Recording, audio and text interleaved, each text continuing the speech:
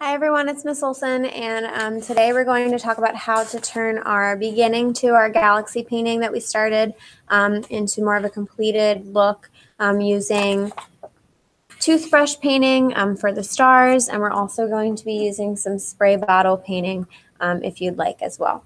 So first things first, when you get this back, um, I did kind of press it down with a weighted mat so that it could the edges would be not as curled, but if they are, I'm going to do it again. So don't be, let that bother you too much.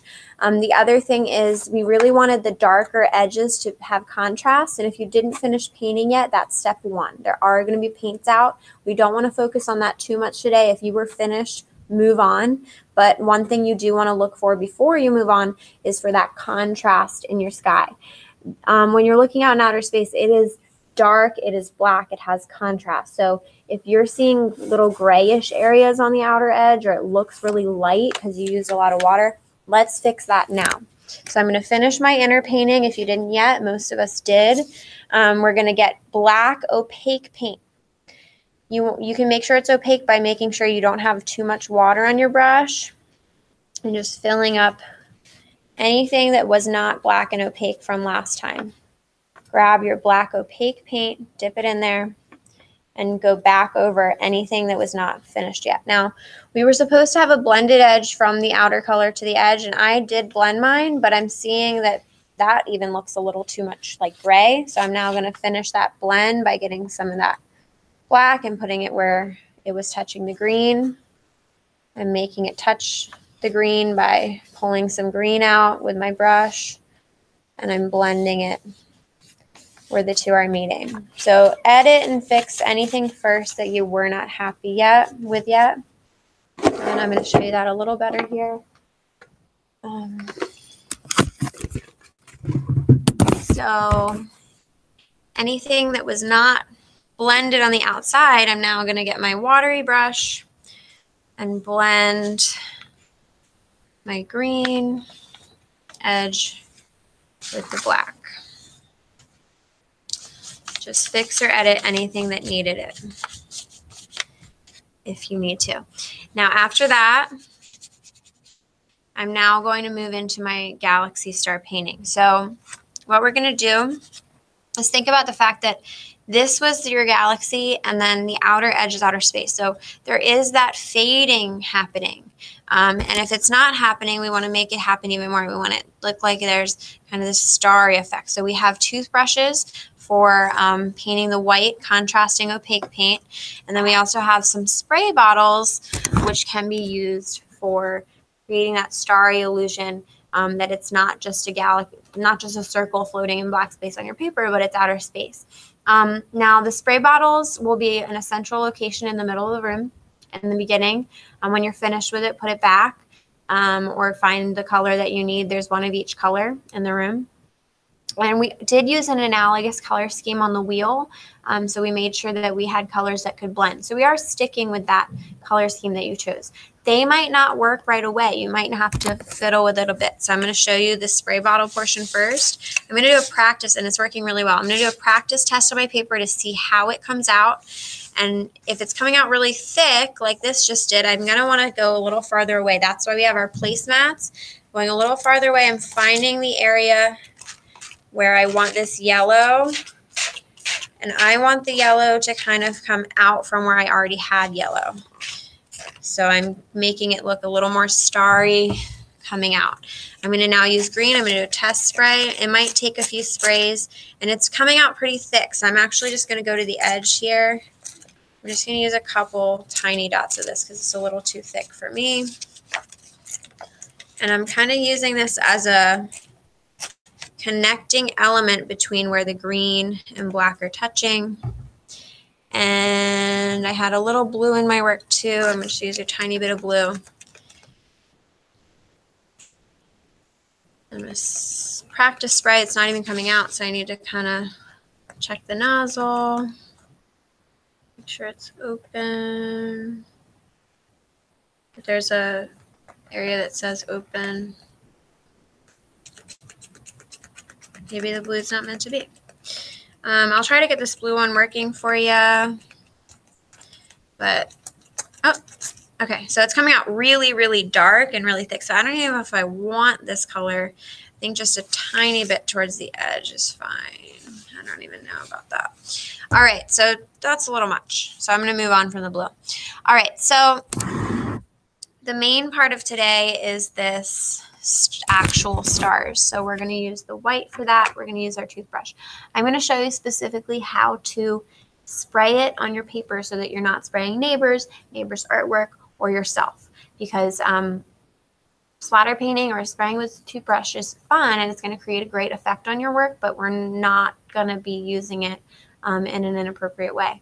Um, we want to make sure we're keeping our table neat and our we're doing what we want with the material. So I'm first just going to dip the tip of the brush, toothbrush into the paint. It's not toothpaste, it's paint. And I'm going to do some practice sprays on my paper. So you want to make sure the toothbrush is pointing away out from you. You want to put your finger on the top where you put the paint and then spray out. And you'll see how it's coming out and you can say, hmm, is that too much paint? Is it a little bit too much? I need a little less on there. It's looking a little splattery. I want it to look like stars. I'm finding my groove here with little, little tiny ones, tiny flicks with tiny dots.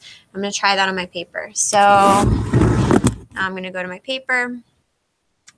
I'm going to do these flicks of stars on my paper, mainly in the black area. And the key is to do variation on your paper so that um, it's looking like it's a natural thing. And the other key is to do some clusters, so kind of like a span of stars in some areas.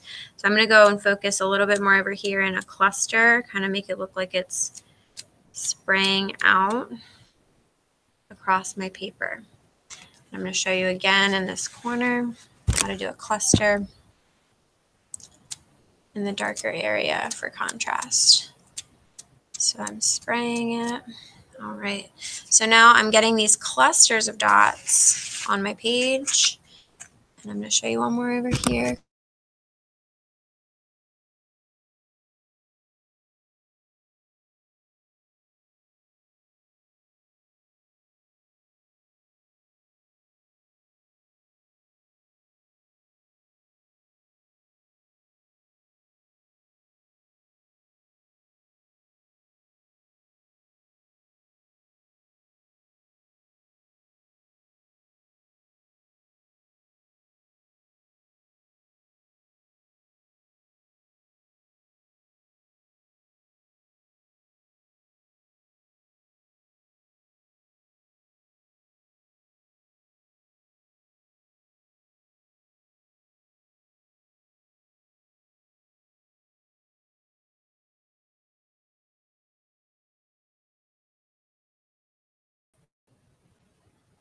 All right, so I'm continuing on with that, sorry. I'm going to now make sure that I have a one more cluster of dots by spraying in kind of like a stream of stars here.